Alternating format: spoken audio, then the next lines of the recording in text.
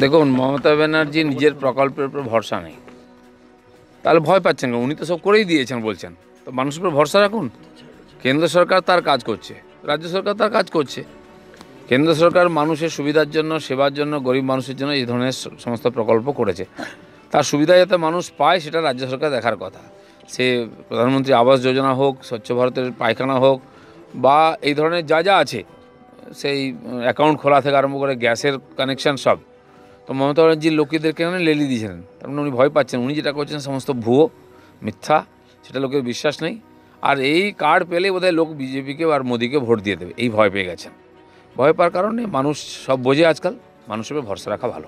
অর্থনীতিবিদ প্রণব দত্ত বলেছেন বলছেন যেটা যে এই যে সরকারি সরকার কেন বেসরকারি সরকারি হসপিটাল যদি ভালো না হয় আজ নয় আমরা ছোটোবেলা থেকে দেখছি এখান থেকে সব লোক ভেলোরে যায়।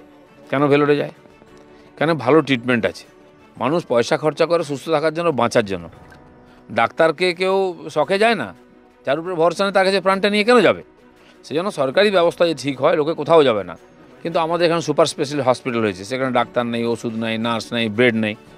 লোক যে অসুস্থ হলে গেলে বেঁচে ফিরে আসে, তার কোনো গ্যারান্টি নেই। সেজন্য সরকার যদি তার ব্যবস্থাকে দুরস্ত করে, তাহলে লোক প্রাইভেট হসপিটাল যাবে না, এত খরচা করে। কারণ চিকিৎসা আজকাল প্রচুর খরচা। এসপি বিএসপি আর আরজেডি জোট হয়েছে।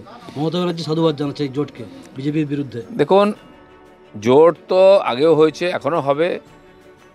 উত্তরপ্রদেশেও জোট হয়েছিল, তেলেঙ্গানাও জোট হয়েছিল, কি হলো?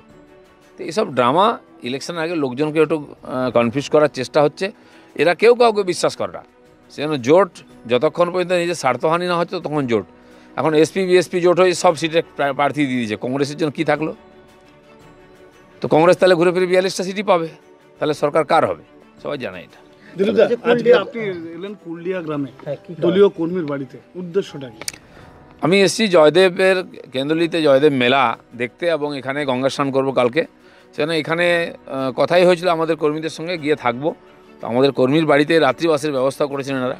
নিজের বাড়িতেই থাকব। যার বাড়িতে থাকবেন তিনি সন্দীপ ঘোষ খুনের মূল অভিযোগকারী। শোনা গিয়েছিল যে তাকে হুমকি দিচ্ছে। রাত্রিবাস করতে পারছে না তারা বাড়িতে। দলীয় কর্মীদেরকে ভরসা জগতে কি দিলীপ ঘোষ এই গ্রামে? একজাক্টলি আমি সমস্ত রাজ্য জুড়ে জেলায় জেলায় থাকি। আর যদি কর্মীদের বাড়িতে জায়গা থাকে, তাদের বাড়িতেই থাকি। আর না হলে কোনো গেস্ট হাউস বা অন্য কোথাও তারা যা ব্যবস্থা করে সেটাই থাকি। সেজন্য আমি এটা চেষ্টা করি আজকে আমাদের কর্মীরা যে ধরনের ভয়ঙ্কর পরিস্থিতির মধ্যে কাজ করছেন, যে ভয়ের মধ্যে, সংঘর্ষের মধ্যে আছেন, তার কাছে গিয়ে দাঁড়ানোটা আমার একটা দায়িত্ব।